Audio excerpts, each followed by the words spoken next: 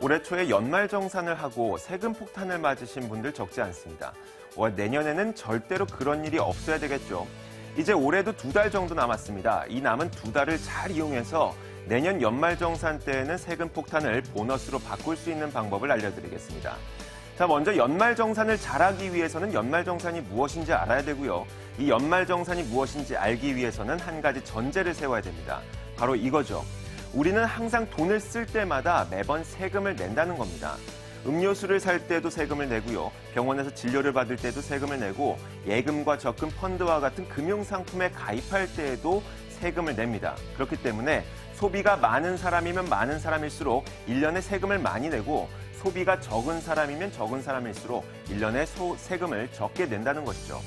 연말정산은 바로 이겁니다. 직장인들의 어, 월급에서 떼어낸 세금 가운데 실제로 1년 동안 정산을 해보니 세금을 실제 더 많이 낸 사람들에게는 세금을 돌려주고 그리고 세금을 적게 낸 사람들에게는 세금을 돌려받는 것, 바로 이것이 연말 정산이죠. 예를 들어 이런 겁니다. 어느 일정 소득을 갖고 있는 이 직장인들에게 일정한 세금을 떼어내게 되는데 이렇게 매달 떼어내는 세금은 대강 떼어내는 세금입니다. 정확하게 떼어내는 세금이 아니죠. 예를 들어 이 정도의 소득을 갖고 있는 사람이라면 1년 동안 이 정도의 소비를 할 것으로 예상되기 때문에 세금을 이 정도만 대강 떼어내는 겁니다. 한 달마다 떼어내는 세금이 바로 이런 것이죠. 그런데 사람마다 상황이 조금씩 다릅니다. 어떤 사람은 부양 가족이 굉장히 많아요. 그래서 아버님한테 돈 써야죠. 어머님, 자식들한테 돈 쓰고 시누이, 시동생까지 돈을 쓰게 된다면 부양가족이 많은 사람들은 똑같은 소득을 갖고 있는데도 불구하고 소비가 상당히 많습니다. 그만큼 소비가 늘어나기 때문에 세금도 많이 내는 것이죠. 그러면 이 사람에게는 이렇게 많이 낸 세금을 돌려주게 되는 것입니다. 반대로 어떤 사람은 같은 소득을 갖고 있는데 소비도 많지 않고요. 그리고 부양 가족도 많지가 않습니다. 그렇다 보니 이렇게 소비가 줄어들게 되면서 내는 세금도 적은 것이죠. 이렇게 내는 세금이 적었던 사람들에게는 세금을 돌려받는 것, 바로 이것이 연말 정산입니다. 그렇다고 해서 무작정 돈을 많이 쓰면 많이 쓸수록 무작정 내일, 내년에 연말 정산 때 많은 돈을 돌려받는 것은 아닙니다. 연말 정산에 포함되어 있는 공제 혜택의 큰 항목, 이 항목에 대해서 많은 소비를 해야지만 많은 돈을 돌려받을 수가 있는 것이겠죠. 자, 그래서 그 몇 가지 방법을 알려드리겠습니다. 이제 남은 2개월 동안은 신용카드보다는 체크카드와 현금을 사용하는 것이 좋습니다. 자, 일단 연소득 25%까지 소비에 대해서는 공제 혜택이 발생하지 않습니다. 4천만 원의 연봉을 갖고 있는 분들이라면 1천만 원까지는 소비를 하더라도 공제 혜택이 발생하지 않죠. 이 구간까지는 신용카드를 사용하는 것이 좋습니다. 왜냐하면 신용카드는 이 회사에서 제각각 포인트 혜택이나 여러 가지 혜택을 주기 때문이죠. 하지만 25%를 넘어서는 소비에 대해서는 체크카드와 현금을 사용하는 것이 좋습니다. 왜냐하면 소득 공제율이 신용카드보다 두 배가량 높기 때문이죠. 신용카드의 소득 공제율은 15%인데 비해서 체크카드와 현금의 공제율은 30%까지 두 배가량 높습니다. 게다가 올해에는 작년보다 체크카드와 현금을 더 많이 사용한 사람들에 대해서 최대 50%까지 공제율을 높여준다고 하니까 남은 2개월 동안은 체크카드와 현금을 더 많이 사용하시는 것이 내년 연말정산 때 훨씬 유리합니다.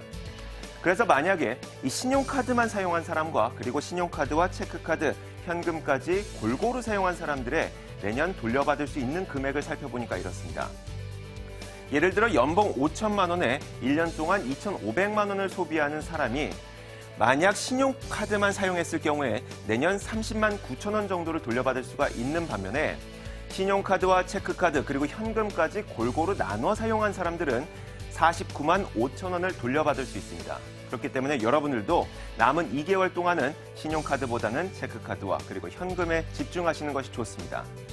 자, 그리고 이 남은 2개월 동안 절세를 할 수 있는 그리고 연말 정산에 공제 혜택을 늘릴 수 있는 절세 상품들이 있습니다.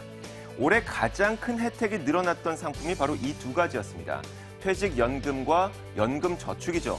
새 공제 혜택이 작년보다도 300만 원 늘어난 700만 원까지 공제 혜택이 늘어났는데 이 상품에 가입할 때에는 주의할 점이 있습니다. 그것을 살펴보자면 말씀드렸던 것처럼 공제 혜택은 작년에 비해서 300만 원이 늘어나긴 했지만 이 상품들은 연금 수령하는 나이 55세 이전까지는 가입을 계속 들고 가야 됩니다. 그 전에 해지할 경우 손실을 볼 수가 있기 때문에 55세까지 이 상품을 가져갈 수 있는 분들만 이 상품에 가입하시는 것이 좋습니다. 자, 그리고 또 한 가지가 있습니다. 바로 20, 30대 직장인들의 재산 형성을 도와주기 위해서 만들어졌던 재형저축과 소장펀드 이것도 만약 올해 안에 가입하게 된다면 내년 연말정산에 큰 도움을 받을 수가 있을 텐데 이 상품에 가입할 때에도 주의할 점이 있습니다.